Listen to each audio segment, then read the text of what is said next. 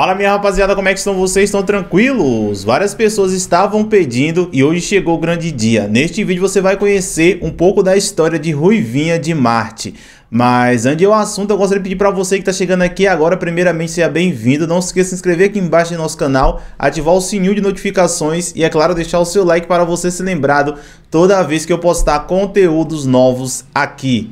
Lembrando a todos vocês que este é um canal de entretenimento onde eu trago notícias, polêmicas, histórias, curiosidades e muito mais. Por isso que é muito bom você ser inscrito e ativar o sininho de notificações. Lembrando a todos que recentemente eu trouxe a história de Cremosinho. Caso você não assistiu esse vídeo, eu vou deixar no final deste para você ir lá e dar aquela velha conferida. Enfim, vamos ver um pouco dessa história.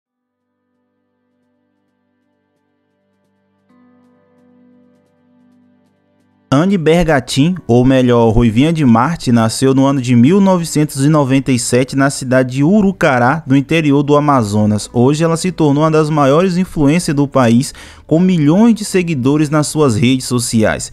Nos últimos meses, sua carreira como humorista deu um salto gigantesco, mas para você que pensa que ela só é boa no humor, está muito enganado. Ruivinha também vem chamando a atenção do público com sua voz.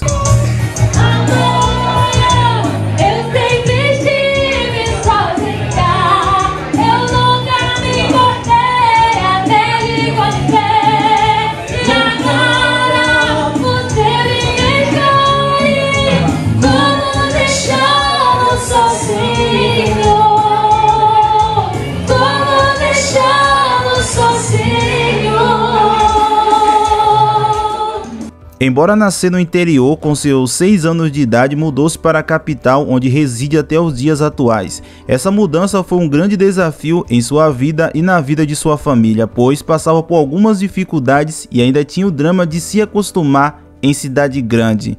Ela que divide o apartamento de dois quartos com seus pais, sua irmã e seu primo que sofre de oligofrenia, deficiência do desenvolvimento mental.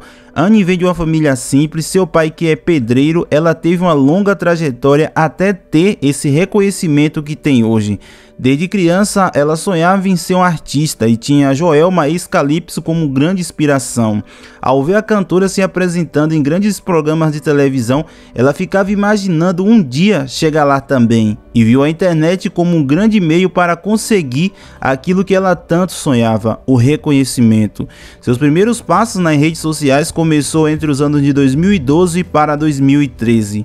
Já no ano de 2014, ela passou por um momento difícil no seu início de carreira.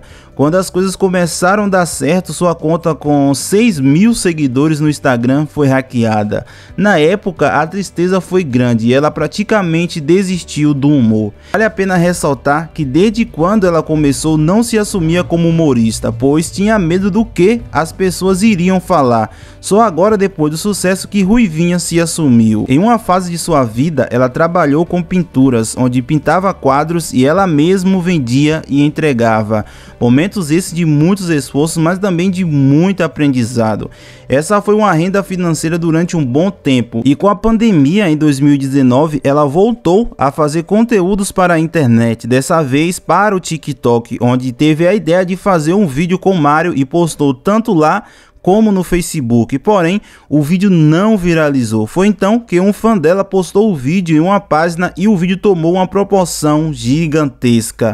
Então, Letícia, é sério, eles têm o melhor milkshake da cidade. olha já, mana. Meu nome é, é Anne, doido. Eu vou querer um milkshake de chocolate, tá por favor. doido. E pra essa linda moça... Um açaí com bastante Um farinha, um arini, claro. E um de morango. Sem morango, essas porra toda de Obrigado, granola. É, dá até um arrupio. Se a gente namora? Não. Não, ainda não. Ainda não. terminar com o melhor amigo dele, ele vai descobrir que você tá larico. O que? Eu só falei a Tu é verdade. muito bocudo, cagueta, né? Mas então, é... Me conta mais sobre você. Quem é você? Ah, meu nome é Anne, vem do Rinodê. Tu quer vender também, mano? Tem uma Legal, reunião é. amanhã. E tu? Eu sou só um garoto Da Ponta da Negra, né? grande que Ah, tá. eu acho que eu acabei de me apaixonar. E se apaixonou pela minha risada? E em poucas horas já estava com mais de 150 mil visualizações e Anne viu seus seguidores subir nas plataformas digitais. Nessa época ela já se chamava Ruivinha de Marte. Daí você deve estar se perguntando por que esse nome. Ruivinha porque ela pintou o cabelo depois de uma desilusão amorosa. E Marte devido que ela fazia várias coisas. E com o personagem criado, ela resolveu durante a quarentena produzir alguns vídeos na entrada do prédio onde mora. E um de seus vídeos que também viralizou no TikTok e deixou ela bastante conhecida foi dançando a música na ponta do pé de Nadsu Oferinha. Foram poucos minutos pra conhecer. A química bateu, a gente ficou. Eu moro na favela, é lá zona sul. É aí que favelado se apaixona. Peça fundamental o sucesso foi tão grande que ela foi convidada para participar do clipe oficial do artista e com pouco mais de dois meses de lançamento já bateu a marca de mais de 40 milhões de visualizações no YouTube. No vídeo ela aparece dançando, mas bem que poderia ser cantando, pois ela participou do programa da Eliana no SBT e encantou o público fazendo um cover da música Girassol. E depois de seus vídeos terem viralizado com humor, ela agora está investindo na carreira de cantora, já que era seu grande sonho desde criança. Tentarei acertar, sou escolhido e te ouvirei quando chamar. Não devo falhar, sem cair, sem me arriscar. E seu primeiro trabalho profissionalmente como cantora foi a música Parará Papá, uma música de brega funk. Ela divide a música com Gabi MC. O videoclipe da música já possui mais de um milhão de visualizações no YouTube. Recentemente, ela participou do programa da Eliana no SBT e do Rodrigo Faro na Record. E hoje, depois do sucesso, ela vem ajudando financeiramente seus familiares e servindo de inspiração para outras pessoas.